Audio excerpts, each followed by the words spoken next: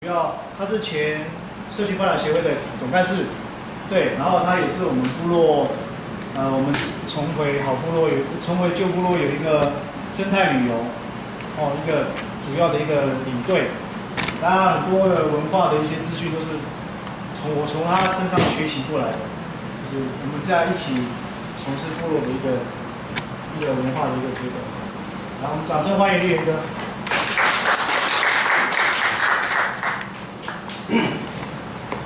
大家好。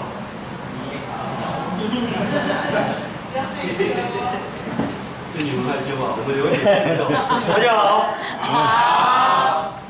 今天累不累？累。都累不热？热。看我都烧焦了。那今天很荣幸可以做今天呃我们要上这个达鲁马克百分百运营的这个课程。那呃。在讲述我们溪流文化之前呢，我先跟各位去做一个基本的认识。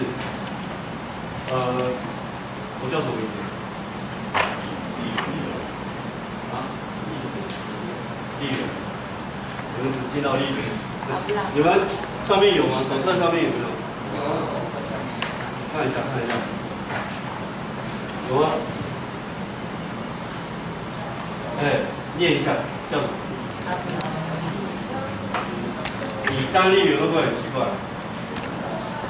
啊？不会。不会吗？为什么？那那个东大生不要讲话，你们很吵。啊，大家有没有觉得我的名字怪怪的？不会吗？是我没有感情吗？你感受一下我的名字对你有没有什么一种很很好奇的？有没有看不出来吗？啊？男性女性？对，男性女性一个爸爸我妈妈。一个很特别的要跟各位提到的就是，你们看到上面有两个性别，对不对？我身上就有两种身份。有没有看过黑色的客家人？我，我就黑色客家人。啊，我是白色的客家人。那一个我要先跟你们分享部落文化的一个，我要打破一个冰点，也就是我跟你的关系。我跟你的关系，我必须要建立起来。我们在同一个。位置上，听得懂我讲吗？有没有外太空来的？都地球人吗？你们听不懂我说的话，你们听不懂我说的话。我要说的意思就是说，我希望我们在谈论这件事物的时候，你要先把你设想在你是这里的人，了解我意思吗？你要先把你界定你是这里的人，我们才有才有办法持续的去往下一步发展。不然你们会一直把持着我是外面的人来协助这里的一种，这我自己的感觉啊，我只是要要提出来。呃，带了很多的营队，我最大的感受就是，很多人会带着自己来，但是不把自己当做这里的人。听得懂？一知半解。呃，我我我我我我要表达的就是说，既然来到这里了，我希望你可以一，你是这里的人的角度来去作证，你们现在要做的这件事，会有一样东西跑出来，叫做心甘情愿。不然的话，你会觉得说，哦，做了这个东西，你就走了，你会没有一个你在这边。我这样讲，你们听得懂吗？还是我们第一次认识，你们觉得怪怪的？我的逻辑你们可以接受吗？好，我调整一下。OK 了。好，我叫李张丽媛。啊，很高兴各位可以来到达鲁马克部落。呃，我一直要强调，也就是说，每一次来我们部落的人，我一个要打开的就是我跟你的呃关系要先建立起来。那我先问一下，我从这里可不可以走到你家？不是，坐哪里？怎么可能不行？我这样一直走就走到你家了。台北哪里？台北木栅，木栅什么地方？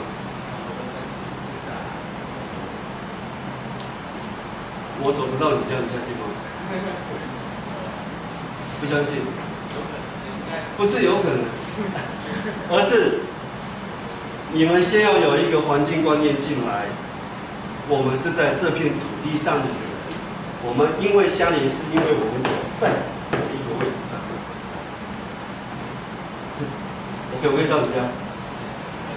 那你什么时候会想起我？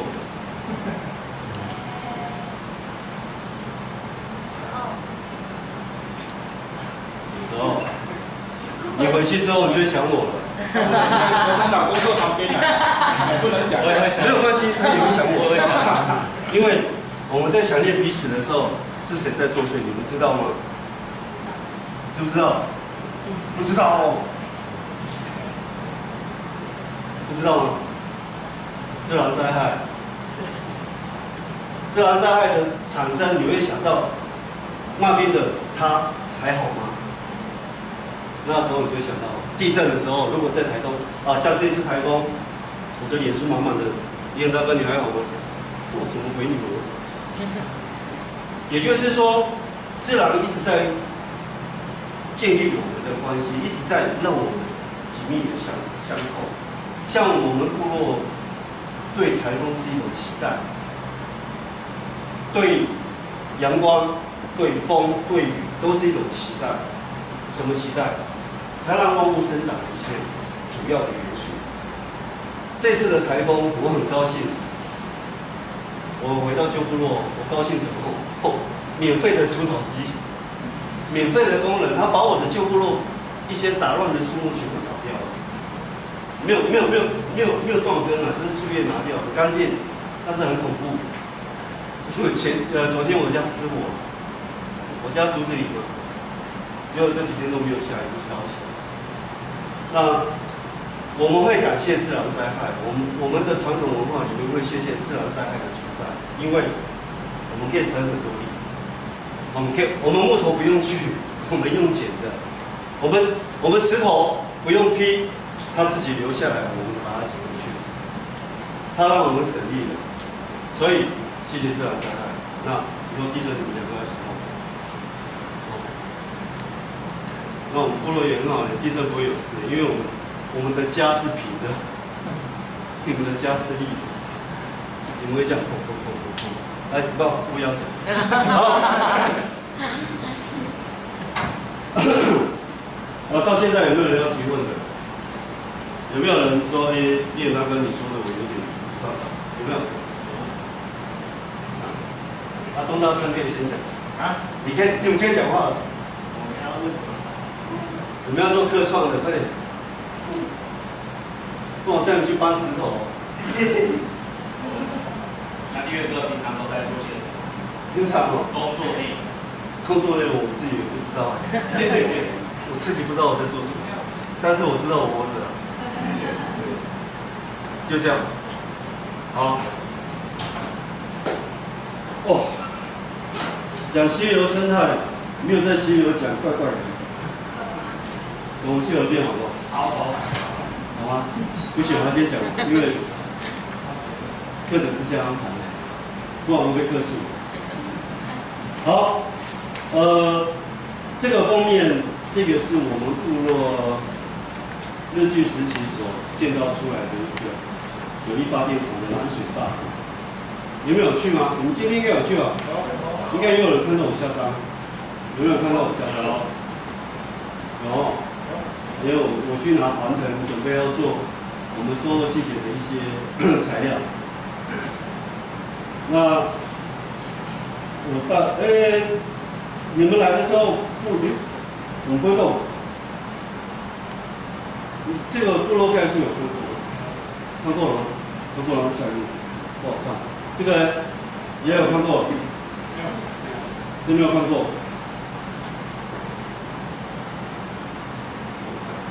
李光电池。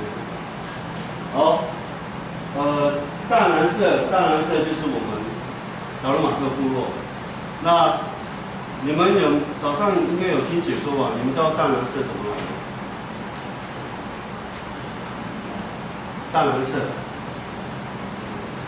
大蓝色跟达鲁马克有什么关联性？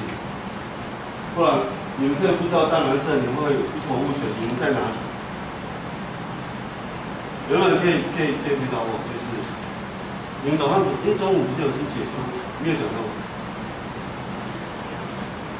签签名，啊？搬签的，签名。哎，还有呢，大蓝色，大蓝色跟达鲁马克的关系，你们知道吗？是，一样的族群，但是中间有人来了，汉人，汉人来了，在日本之前，那我们大南社是日本日据时期所称呼我们叫大南社，他为什么会叫我们大南社？因为我们叫达达鲁骂。那呃，住在山下的汉人称我们部落叫做傣拉骂。傣拉骂，傣拉骂之后呢，日本人进来就问傣拉骂，傣拉骂，傣拉骂是什么？就写出了大南社。那我们部落会有三种不同的名称，达鲁马克，还有什么？东兴村，还有呢？你们搓一搓，哦，我觉得你们好累哦。还有一个叫大南社，这个三个代表不同时期的殖民者，呃，不是说不同时期的殖民者，是来了不同的人所对我们的称呼。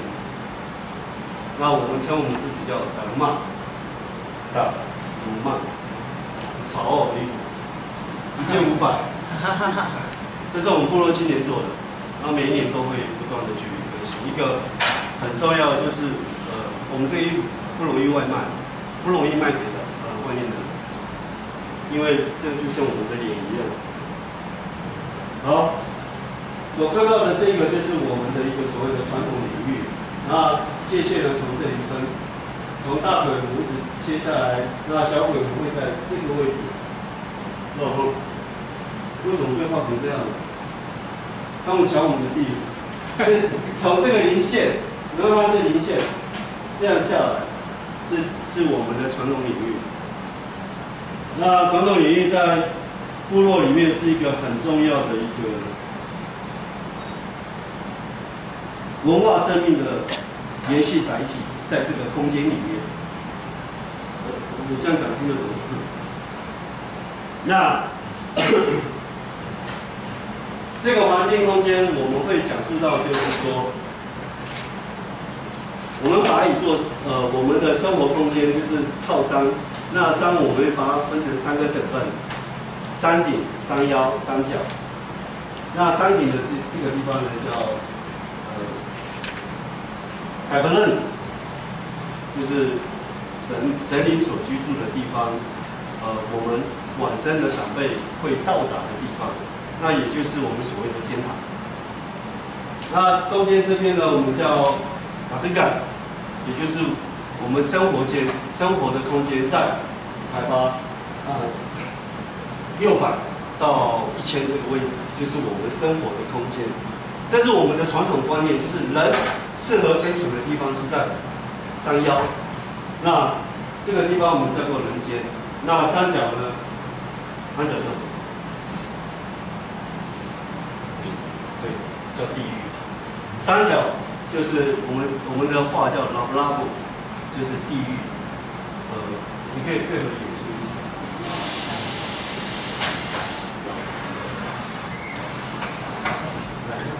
没有互动。比方说，它是一座山，好，这边是什么？天堂，这边是天堂，这边这边是山顶，这里是山腰，这三角，这边三角。那我们对三的分法分分法，我们会用一个生命体来去说，这个地方是我们思考的，是神灵所居住的，是我们的灵魂所聚集的地方，在这个地方。那我们生存的地方在哪里呢？嘴巴开始吃东西的地方，这是我们的生存空间。那不好的地方在哪里？不好，会掉落。就要笑。好的，接着三三角，我们是讲一个污秽、肮脏，然后很多呃不好的都在三角。我为什么会一直带东大生跟我们其他的小朋友，我们回到旧部落，回到山林里面，那个是没有被外外来的文明所殖民的生活空间，在山腰。山腰是人真正居住的地方，为什么？我们的神话故事里面有一个叫做大洪水，有没有去过几个原住民部落？有没有去过？没有哦。第一个吗？前面我我说不出名字啊，没关系，大概在哪里？太韩西，韩西是不老吗？花莲吗？你有没有去过？啊？第一次来到原住民部落，是好，这就是我们对山的一个一个一个区别。那我们为什么会回到山里面去居住呢？从我们的河川从哪里开始？我们的河川，我们的河川从哪里开始？从山顶，不是？不是，我们河川从哪里开始？为什么要找你？啊，山腰，呃，算，算山腰。那我再问，我们的水从哪里开始？啊？笑笑。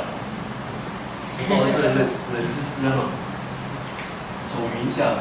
我在讲述溪流，我们必须要先回到源头，我才有办法对你谈论溪流。那所有的河川呢，是从山腰这边开始，会有一个大家很喜欢喝的，那叫山泉水，就是从小支流开始出来。那我们祖先住的地方呢，呃，如果用国土法来看的话，那个是一个危险区域，那叫土石流警戒区，那叫土石流警戒区。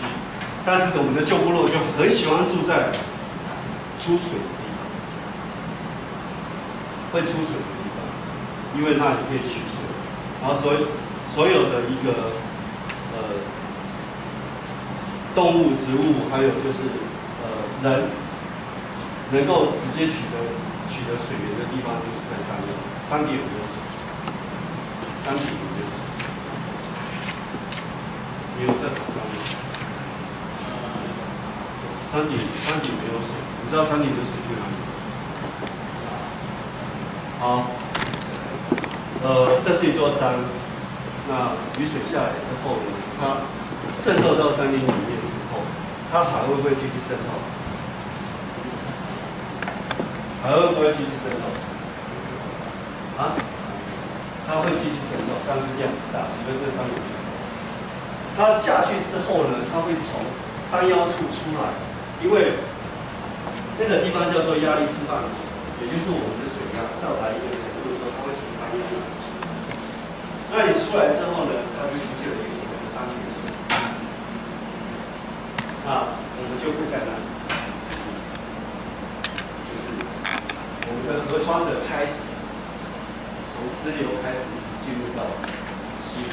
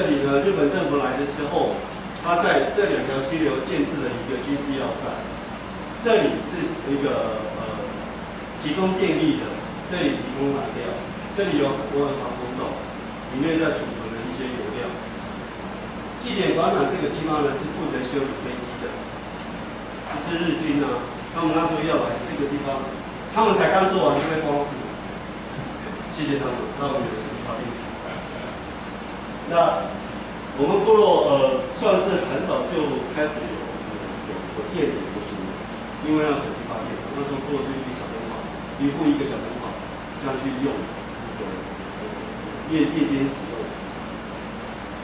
那这个呃修理修理飞机场的地方呢，刚好就是我们的一个祭典广场，你们你们今天应该有看到，那个很宽广的地方。那呃这条这条路啊，我们看上这是台九线，那这条路呢是直达到丰年那里有一个机场，叫自航基地丰年。啊，你有没有坐飞机下来？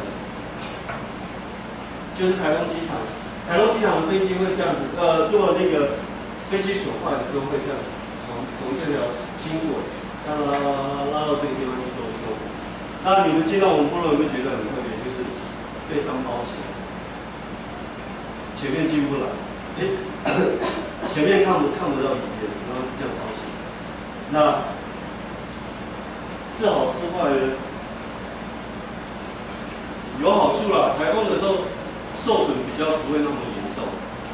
坏处就是说，如果里面像五十八年那时候，艾尔西台风，我们部落发生了大火，你有没有听过？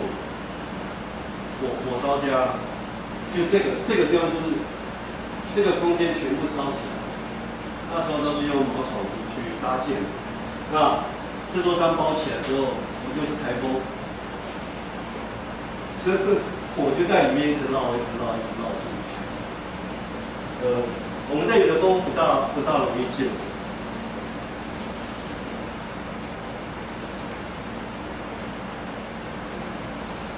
这是从对面的山所拍摄下来的。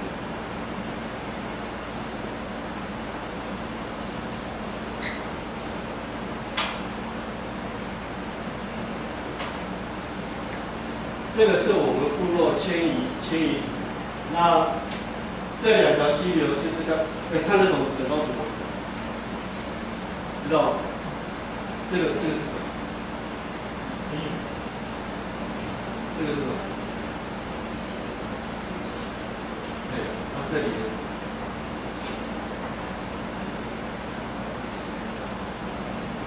这个是山顶，然后这个是山腰。这这边起，这里就是三角。那我们从这里开始，从这里开始，就是被日本政府带下来。然后日本政府呢，很好心的帮我们带到山下，让我们住在两条河的中间。有看到？这个位置其实是一件一个很危险的一个环境空间。为什么？哪天这个水大，我们部落就就下去了。这边都是冲积上的一个平原，现在我们所在的位置，我们脚底下还有个卵石，这是那个可以。我们现在做的都是以前水在走的路，水会不会回去到原来的路？我我问了，快现找的问题，水会不会走原来的路？水会不会走他走过的路？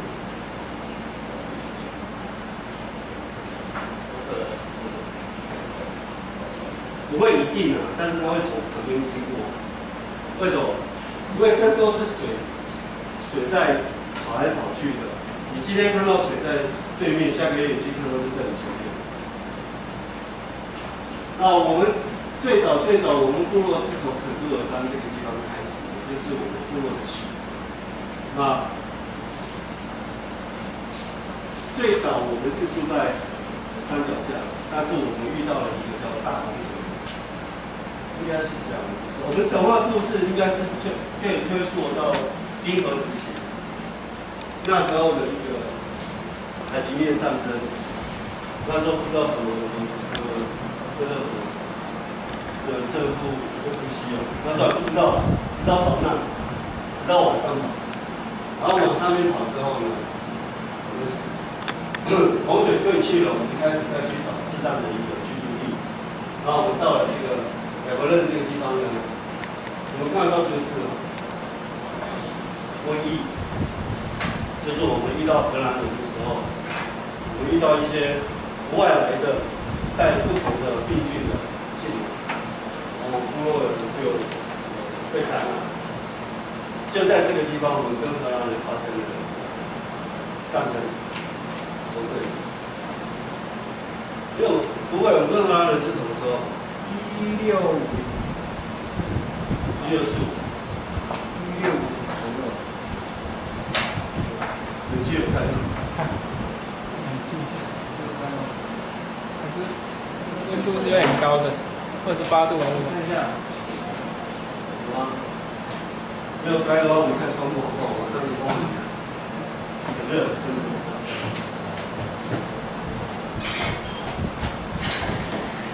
我们可以吹我们这里的洛杉矶风，不错哎。白天也可以吹我们这边的和风啊，很特别哦。很热，和风可不可以转热能发电？啊，收集文工。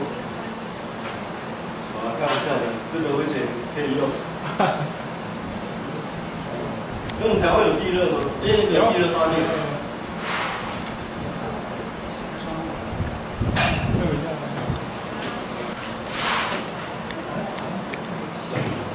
哦，开窗户会变凉哦。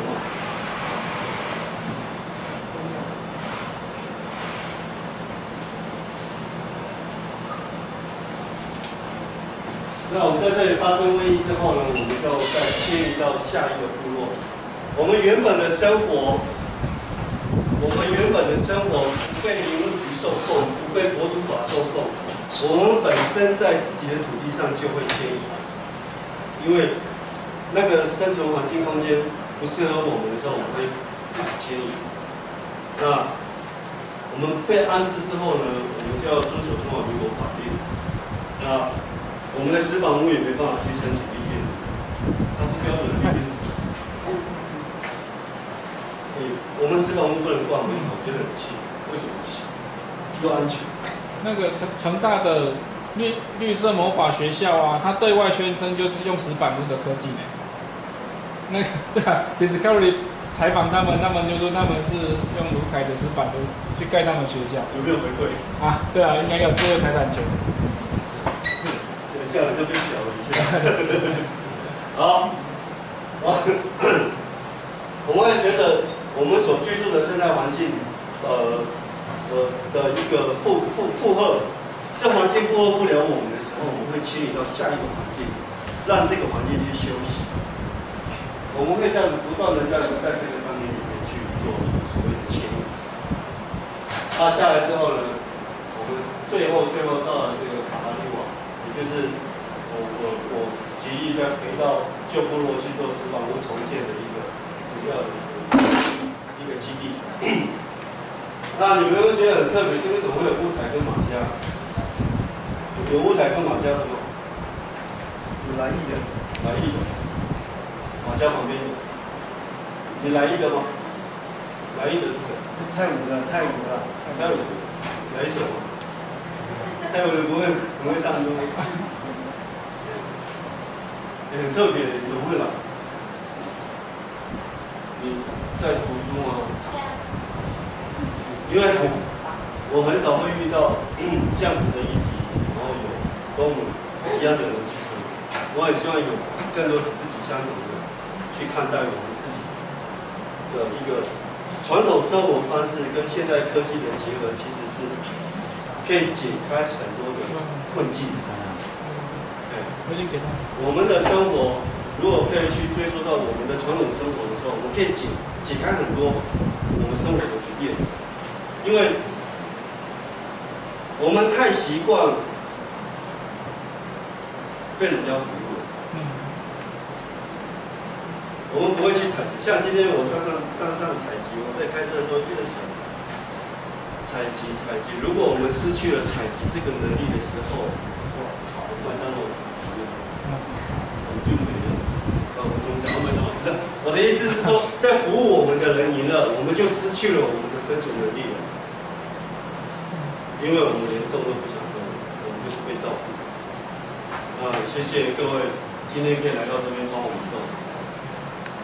辛苦。那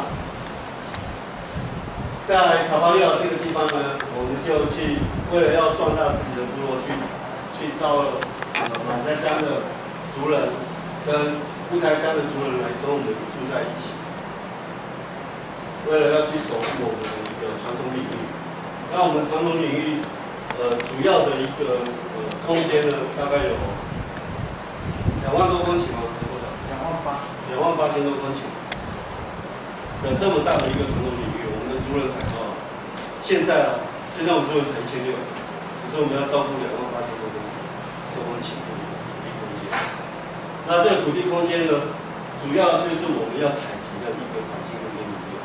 那采集 像我们一直去采集的过程里面，在采集食物的时候，很少会去想到采集水这件事情。我们一直在采集东西，但是没有想到说要去采集水，谁先想到这是什么意思？统一，天上掉下来的礼物用包装纸卖给我明明就是我们的东西。就好了，不谈这个，谈别的。那我们大南溪，我要分享的就是我们的一个溪流现况，我们的溪流现况。在我小时候，我们的一个呃，我们的溪流啊，有没有注意到这个地方是被截断的？有看到这个水是被截断的。呃，为了为了要做这这这个农田灌溉所所截取的这些水，然后过过到这个地方。那水力发电厂这里还好，水力发电厂的水还可以这样子一起流流流到哪里？流到海边。那个时候的我们还看得到溪流生态，还看得到我们的呃那个呃水，呃这里。蓝水坝、热水呃蓝沙坝，这里面都是蓝沙坝，因为林务林务局的伐木，然后土石流，然后他们就好心的帮我们做蓝沙坝，然后蓝沙坝一做起来之后，开始死了，这条溪流开始死。那个里里面有林务局哦，有，我就是林务局的一千五，我住在第零班第八零班地，以前都在砍吗？啊以前有在伐木吗？有，民国呃四十几年的时候，有有有在伐木。那这边都全部都被伐采，连我们旧部落都是大量的伐采，哦，然后就造成了土石流。然后他们为了要弥补我，去做了一个很大的，就是，去做了一个很有建设的一个 就是那个那个叫什么？南沙坝，南沙坝，然后呃，他们觉得他们可以保护我们的，结果保护我们的这个溪流死掉了。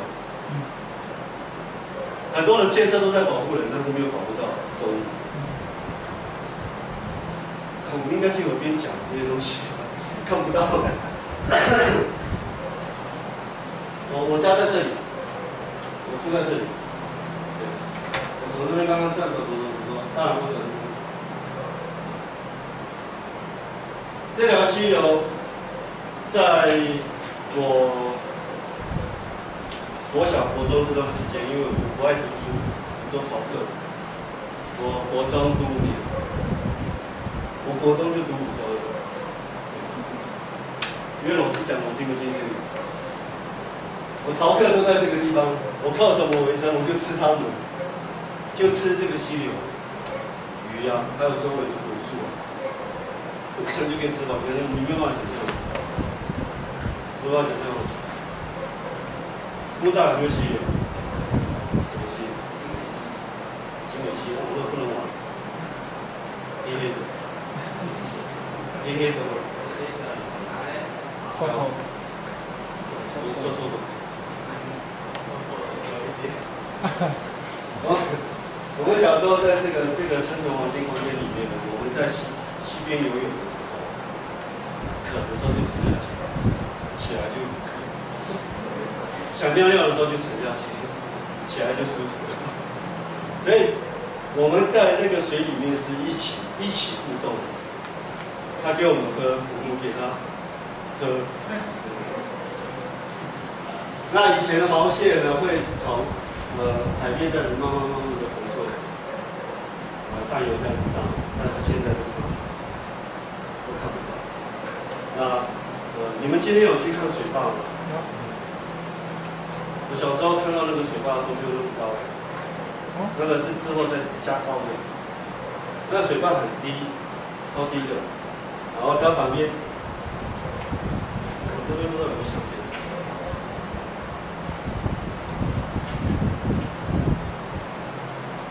你可以调出讲吗？没有调出，放掉。以前以前这个水坝大概只有到这个地方吧，然后这个是被台电再把它加高的，才要让水的量再再多一点。那在在这是刘老师，然后这是卢台义，卢台义呃老师，他们的下方那个位置啊，就是你们今天如果如果你今天应该会在布朗那边看，没有，会在布朗那边看，好可惜。那个护栏下面呢，就是日据时代他们所设计的雨雨梯，很简单，就是没有做，就是没有，那雨梯就是放着，没有没有去设计雨梯，它只有是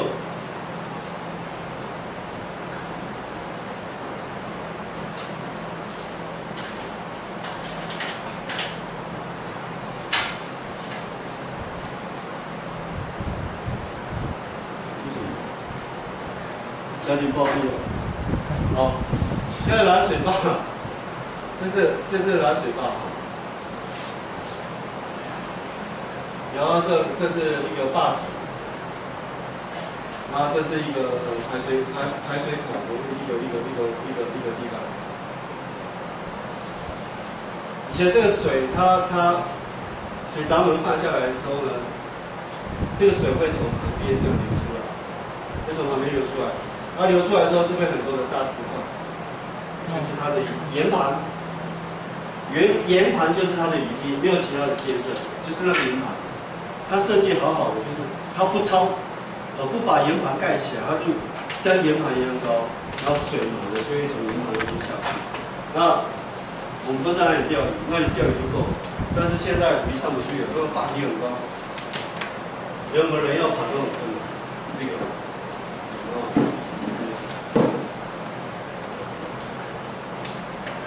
那自从退伍回来之后呢，呃，在溪流娱乐的生活没有了。我现在我们部落住人很少到溪边，因为没有水。还有一个最大的困扰就是游客，外来的游客的一个干扰。你们今天有在那个杉树溪对不对？杉树溪之前很漂亮。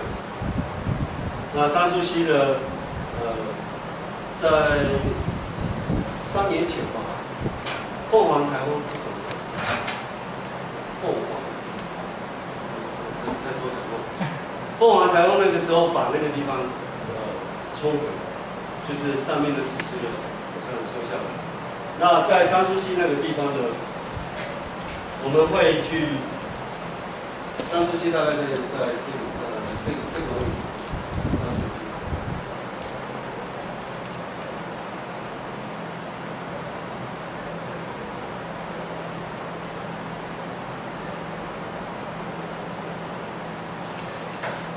在桑树溪那边，我们有一个神话故事，就是菲律宾女神。在，那是他的一个游游戏空间，他的生活空间。比利比利女神，我们的神话故事的一个呃讲述，就是说那个比利比利女神，她是一个善妒的，她不喜欢穿金戴银，她会，她是善妒的，她很讨厌，她会，她会把你带走，她会把你。那你们接续的那个上述星呢，也是我们部落所讲的禁忌之地，很多的不好的会在那里发生。那有有怀孕的呢，你必须要把你的肚子盖好，然后快速的通过那个溪流。那女生呢，不能对着那个溪流，或者男生不能对着那个溪流尿尿，那是一个不敬的，会造成了一个生命生命的损失。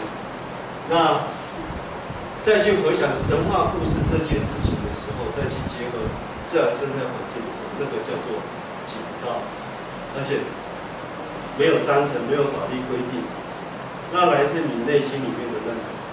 我们的神话故事在讲述的就是保护，保护这个环境空间。那环境空间为什么会有这样的一个神话故事存在？因为那条溪流的那个河道是一个狭长，就是。很窄的，它很容易吸水暴涨，那里很容易吸水暴涨。那呃，再讲的就是说，怀孕的人或者是穿金戴银的人，你很过再过那个地方的时候，你必须要快速动作，你不能在那里逗留，你尿尿一定是停下来。我们来不及，那条溪流会来不及，你来不及反应，它会很快速的就把你带走。那里也走了很多那条溪流，那。我会跟呃来的曾经来过的朋友们去好心的提醒，就是说，不管你到哪一个地方，都有在地人，请你先跟在地人打招呼之后再进去，他会保护你安全。如果你擅自闯入的时候，有危险。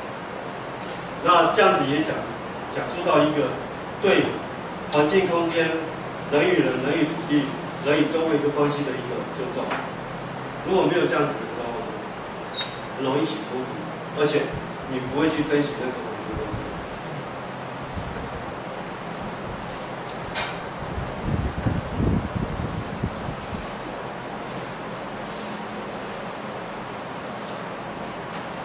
那我我 PPT 我都是在在骂政府，没有了。我我要我要介绍的是，他们设计很好的一个供应给人类，呃，呃，台中市跟我们一起可以去利用的一个设施，就是这个自来水污水口。那这是农田灌溉水，那是怎么样解决？呃，这样做很好啊。可是如果你们有在去看的时候，应该有看到灌水这个全部填满。有时候看到怪虫，就整个一直在填满。有时候我一直很闷的，为什么怪虫可以轻轻松松就下河想去去挖、去挖、去挖的？好像没有人管，好像没有人可以去讲述。像我们自己在这样子一个环境空间，我们一直想要去表达，就是说，呃，我们需要这个溪流有生命，我们需要这个溪流的资源，在我们的河川资源里面。有很多很丰富的鱼虾类，有河氏奇葩、高深度、五花七哥，五花是什么呢？有七哥，还有一个那个出手辣，出手辣好像是，我记得以前是没有，然后是被放生的，哪来这里放生？结果它生存能力太强。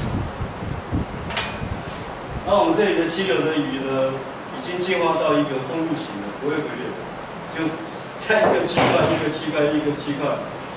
你到上面的时候，你会看得到那个鱼的鱼体是长不大的，都小小。那这个呃，这个这个大南大南南溪呢，就就有那个河氏奇葩的高深度。那还有一次的台风让那个黑尾东流回来。我们这里溪流生态很丰富。但是很可惜的，很多的设施没有去顾虑到原本住在那里的真正的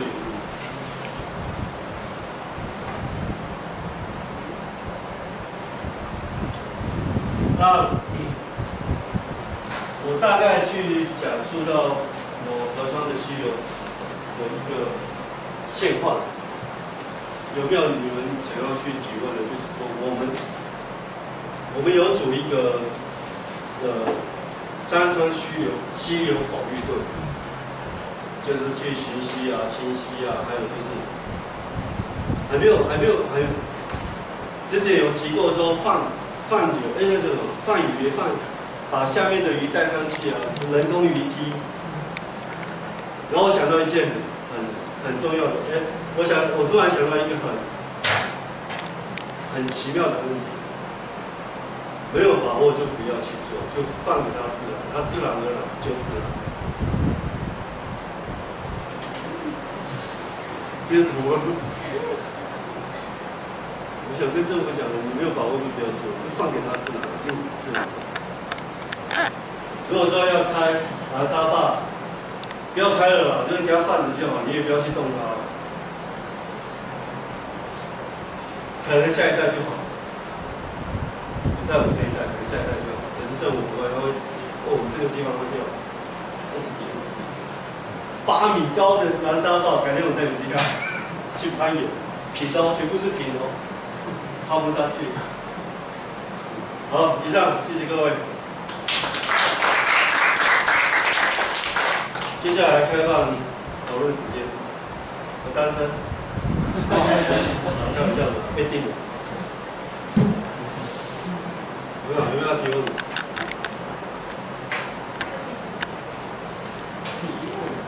有有没有想要想要说的？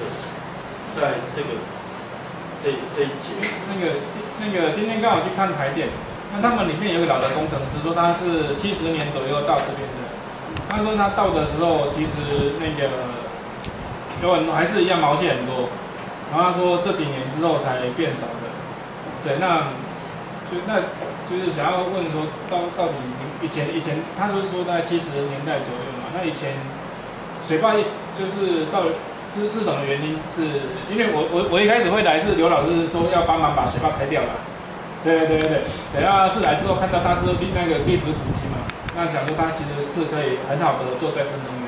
对，那假我我不知道说，呃，如果是如果站在工程师说的是他七十年代左右，他那个毛线还多到他那个排水口都会被堵塞的话，机会会掉。啊，对对对，那多必定会坏掉。那到底是什么原因？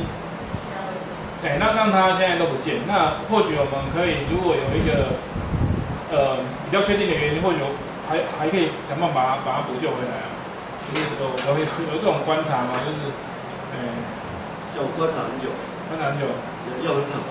嗯，龙南龙田水利会的灌溉系统，灌溉系统？它的灌溉系统出现了问题，就是它的取取水，啊它的取水的一个呃设计 OK 出现了问题。他以前也有取水，但是没有这么样的严重，没有这么样的风，整个溪都都完了。为什么一直想要提？一直挖，啊我想要提他说，你们应该可以用浮流水，就是啊，对，用底下的水就可以了，不需要就是整个都打。而且，呃，台东的农田灌溉系统很差，嗯嗯嗯，OK，像我家种水田，我我没有那个那叫什么水菌，没有一个灌溉水菌，需要去挖别人的这样来我这里。那像淡水，淡水那边淡水的商贩就做得很好，有排，有有那个水排。嗯它会可以抽排抽放，它的量不大，就小小的这样，但是它不会停。我们这边的量很大，但是它会停，因为每次都结得很大，一下子就灌下去，然后一下就报废。然后他们也有一个呃应应措施啊，就是设马干生态池，就是要让那个生态缓冲区这样。结果生态池里面都是乌龟、哎呀，都是那种那种那叫什么鱼鱼种，不是溪流鱼种，结果没有办法富裕到。那毛蟹的话，它必须要有，呃，流到海再可以走回来，没有所以他那个农田水利会在多久之前做的？很久。很久。对，那个自来水，自来水这个也是农业水利会啊，自来水公司跟在那个隔离隔铁水泥会出水。嗯，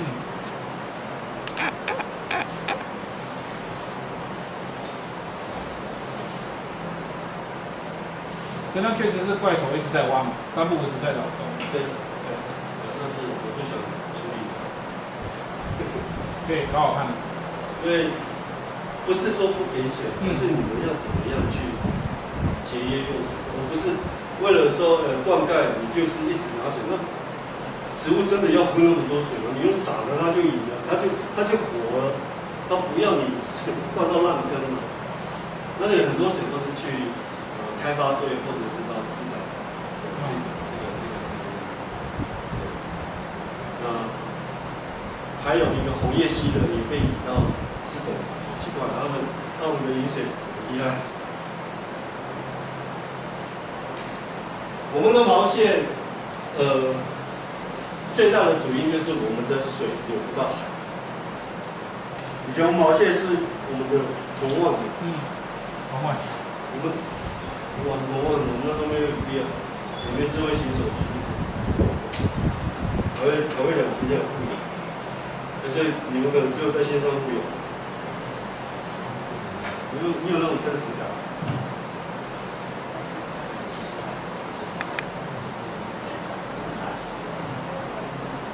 当然是出海口洗沙石的地方，沙石场在洗沙的地方。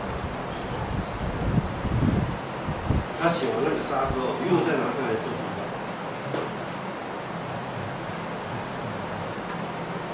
还有吗？有没有要提问？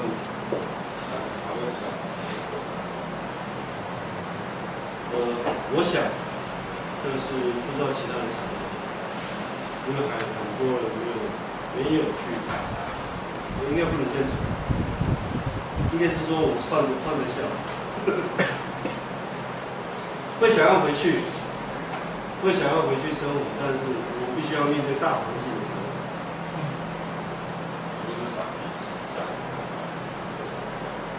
对，是比较方便的，但是，呃，还是要在山底下，我们才有办法守在山上。我们在山上的时候，我们就守不到山上，因为它会被我们破坏。人一上去就会这样，人很特别，不好意思。嗯，还是我讲的还不清楚，还在补充。好了，我们聊别的了。你们想不想去游泳？你今天有没有去玩水？有有鱼去咬你。有没有看到毛线？毛线像清溪蟹，带你去秘密基地。什么？是晚上才看得到吗？晚上比较容易看得到，因为它会发电。哦，白天你们看不到，因为它它的保护色很好。那你们有夜间观察？没有啊。对，对对。哎，你举手有什么要说？你说。伸懒腰。好，谢谢各位可以来到咱们的朋友。那呃，往后如果有机会遇到的话，我们再再继续聊。其实 我讲，如果叫我讲植物，比较顺序。哦。溪流生态，是我有做过鱼类调查，有做过我们溪流生态调查的采访，这里面去做分享。好，谢谢各位。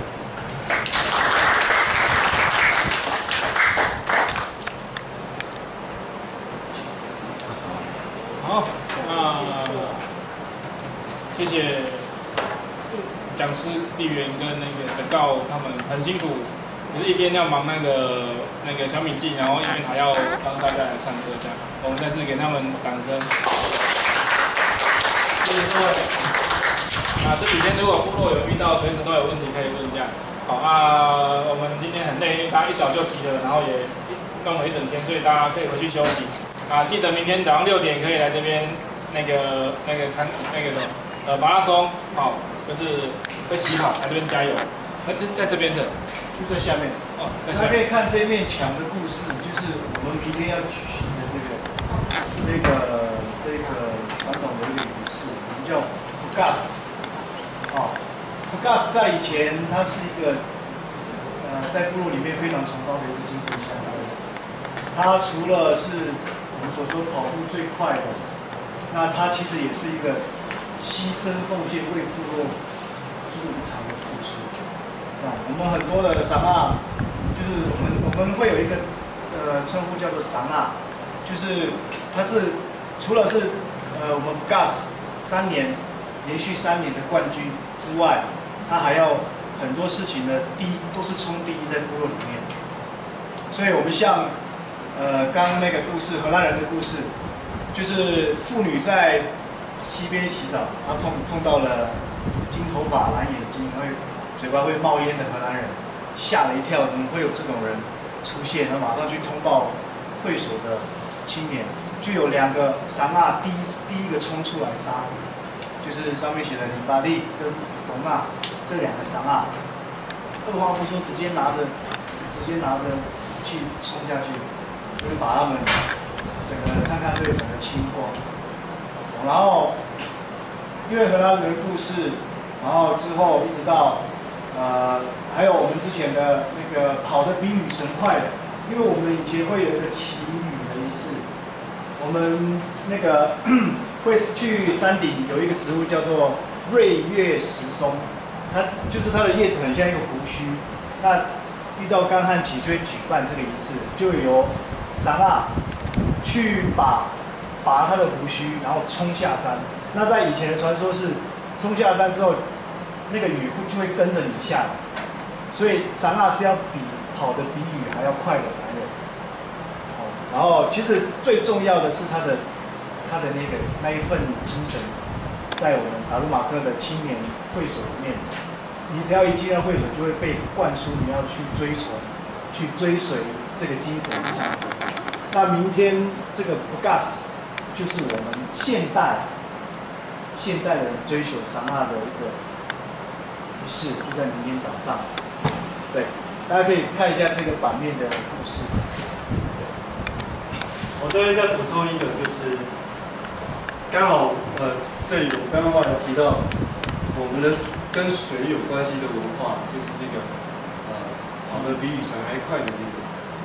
我们有一个求雨季，就是这久旱不下雨啊，我们会到溪流里面去闹雨神的孩虾，然后鱼类啊，我们会特定的去捕鱼，会去用鱼藤啊，去捕鱼。那个在做球衣季的的这个过程里面，会去把那个雨神的雨神的孩子、雨神的子民呢，把它全部抓起来，让雨神愤怒，他就下雨。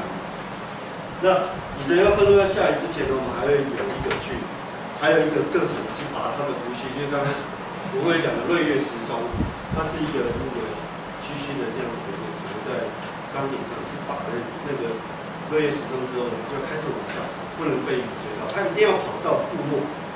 如果他没有没有跑到部落，他跑到山腰被雨追到的时候，我们会造成土石流，因为雨只有在山上。如果带下山的时候，它就可以可以灌溉，呃，可以让我们的呃作物生长。